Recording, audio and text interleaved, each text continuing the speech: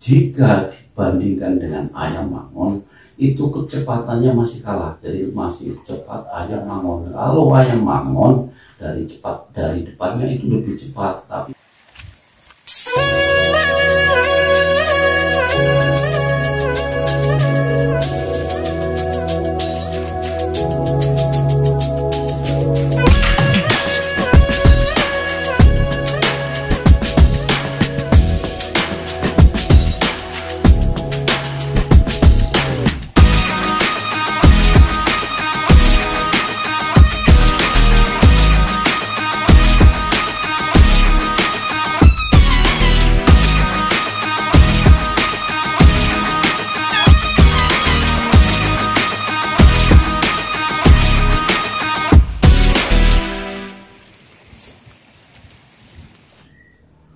Selamat sore pada rekan dan saudaraku di mana pun berada. Kembali lagi di channel Denmas Lamin Yang pada kesempatan sore ini saya akan membahas kekurangan dan kelebihan dari ayam Bangkok Dan kekurangan dan kelebihan dari ayam Mangon. Namun sebelum saya melanjutkan saya minta pada rekan-rekan yang mungkin baru bergabung di channel Denmas Lamin saya ucapkan selamat datang dan saya minta tolong keikhlasannya untuk subscribe, like, dan komentar agar channel saya terus berkembang sehingga saya lebih semangat lagi dalam membagi tutorial-tutorial juga ilmu-ilmu yang bermanfaat bagi rekan-rekan semuanya. Pada rekan-rekanku yang satu hobi di mana pun berada sebelum saya menjelaskan saya berharap selalu rekan-rekan di rumah dalam keadaan sehat tidak kurang suatu apa pun badannya sehat ayamnya juga sehat sehingga rekan-rekan di rumah itu panjang umur. Nah pada kesempatan sore ini saya akan membahas jadi saya akan membahas yaitu kekurangan dan kelebihan dari ayam Bangkok dan kekurangan ataupun kelebihan dari ayam Mangon. Yang mau saya bahas dulu adalah ayam Bangkok. Jadi ayam Bangkok itu sudah umum. Banyak dari rekan-rekan itu yang punya dari berbagai peternak itu banyak sekali yang punya. Dan ayam Bangkok itu ada dua jenis. Jadi ada yang badannya panjang, badannya panjang dan ada yang badannya pendek. Dan kalau yang badannya panjang, badannya panjang segini, ada yang pendek segini. Kalau yang badannya panjang itu lock kanan, lock kirinya bagus. Jadi lock kanan dan lock kirinya bagus. Kemudian kalau dari depan arah dari depan itu jarang. Jadi kalau yang badannya panjang, yang badannya panjang itu lock kanan, lock kiri itu bagus tetapi arah dari depan pukul dari depan itu jarang. Jadi dia hanya belok kanan dari samping dari samping kiri samping kanan kemudian pukul kode dari belakang. Sedangkan ayam Bangkok ayam Bangkok yang badannya tidak terlalu panjang itu pendek segini lok kanan lok kirinya itu biasa tetapi arah dari depannya dia ada. Jadi pada rekan-rekan semuanya usahakan apa pun jenis ayam dari milik rekan-rekan harus mempunyai pukul dari depan. Kalau tidak mempunyai pukul dari depan, ayam tersebut masih kurang. Jadi usahakan walaupun ayam rekan-rekan dari kanan kirinya bagus, tetapi dari arah depannya juga bagus. Kemudian kalau lebihan dari ayam Bangkok, lebihan dari ayam Bangkok itu untuk perawatan stamina itu mudah. Jadi rawatan stamina ayam Bangkok itu mudah kemudian badannya juga tebal. Dilihat jadi ayam Bangkok itu dilihat pola permainannya itu sangat indah. Tidak dilihat oleh mata jadi ayam Bangkok satu kanan blok kiri itu sangat indah indah sekali dilihat. Kemudian untuk untuk pukul juga keras untuk dipukul keras juga dia akan kuat itu untuk ayam Bangkok. Kemudian kelemahan kelemahan dari ayam Bangkok kelemahan ayam Bangkok mempunyai kelemahan. Untuk yang badannya panjang lok kanan lok kiri itu kelemahannya kalaupun ada dari depan biasanya jarang-jarang mempunyai dari depan. Tetapi kalaupun ada dari depan itu tidak terlalu cepat. Jadi tidak terlalu cepat. Terkadang dalam suatu pertandingan dia hanya satu kali ataupun dua kali memukul. Tetapi dia sangat lebih banyak akan pukul dari samping dari samping kanan ataupun dari samping kiri ataupun pukul dari belakang. Dia akan konde. Nah kemudian pada rekan-rekan itu kelemahannya yang bangkok yang badannya panjang itu jarang. Jadi jarang melakukan pukul depan.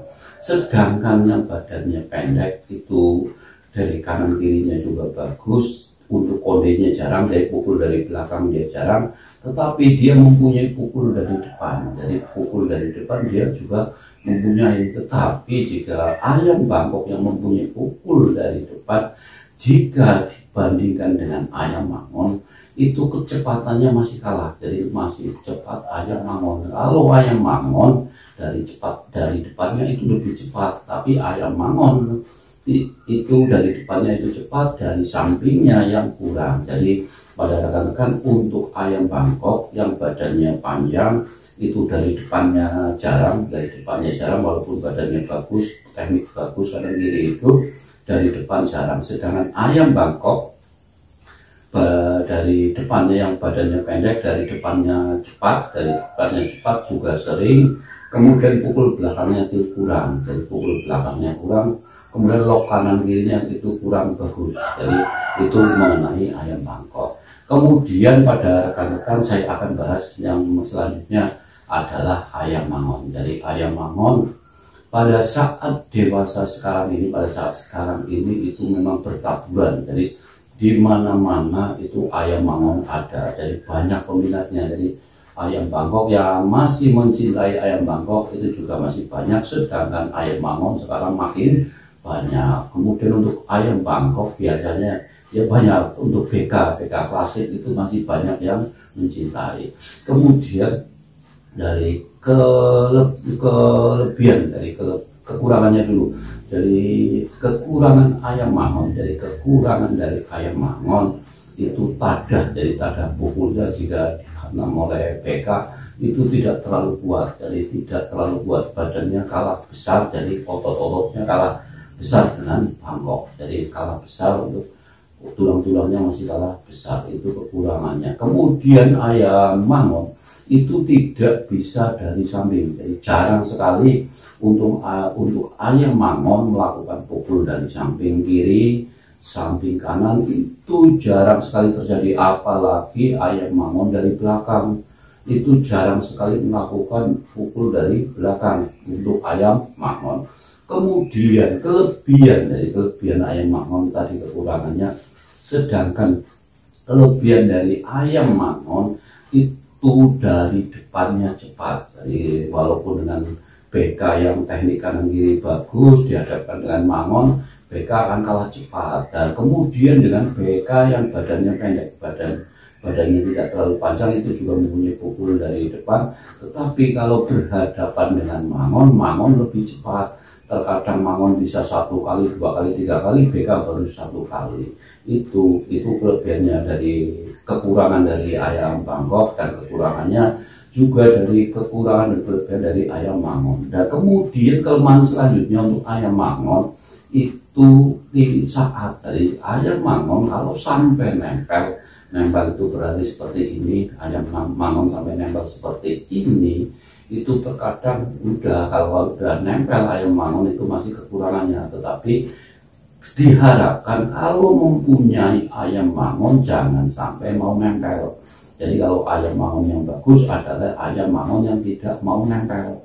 Tetapi kalau ayam mangonnya kurang bagus masih mau nempel itu masih kurang. Jadi rekan-rekan di rumah kalau misalkan mempunyai ayam mangon itu usahakan jangan sampai nempel. Jadi kalaupun didekati dia akan mundur, dekati itu akan mundur, akan narik dari depan ke depan. Sedangkan ayam beka ayam beka itu ya badannya panjang ataupun yang badannya pendek untuk untuk mengimbangi dari ayam makmon rekan-rekan bisa jadi untuk melatih dari arah dari depan karena memang ayam beka itu dari depannya kurang kebanyakan dari samping kiri ataupun dari samping kanan.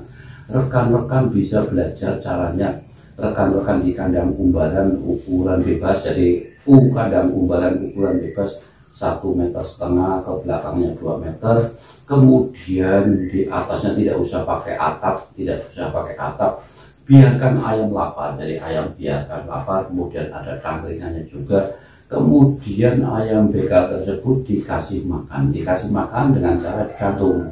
Jadi di dalam di atas umbaran itu pakai tali kemudian rekan-rekan bisa dikasih pisang diikat pakai tali rafia atau tali sembarang. Diusahakan nanti ayam bangkok tersebut lapar. Kalau ayam bangkok tersebut nanti lapar dia akan dari depannya ini dia akan melompat dari arah arah depan. Dari arah depan di sini melompat. Jadi ayam PK itu melatih melompat. Usahakan jangan terlalu tinggi diperkirakan sekitar antara kepala ayam Bangkok itu sekitar jaraknya 30 cm jadi pada saat ayam Bangkok lapar dia akan seperti ini akan akan menuduh ke depan itu untuk latihan agar ayam Bangkok mempunyai pukul dari depan. Demikian pada rekan-rekan semuanya. Yang satu hobi sudah saya jelaskan untuk mengenai kekurangan dan kelebihan ayam BK, kekurangan dan kelebihan dari ayam mangon. Dari kekurangan ayam dari mangon yaitu dari kanannya kurang bagus, dari kirinya juga bagus, kurang bagus, dari belakangnya juga kurang bagus, kemudian tadah kukunya juga kurang bagus, ayam mangon hanya cepat dari depan dari dari arah depan itu cepat. Kemudian untuk ayam BK dari kanan kiri itu bagus, dari belakang bagus, tetapi dari arah depan itu kurang bagus. Demikian pada rekan-rekan yang satu hobi, jika ada yang kurang jelas silahkan ditanyakan, pasti akan saya jawab. Terima kasih, saya Demas Lamin, selamat sore.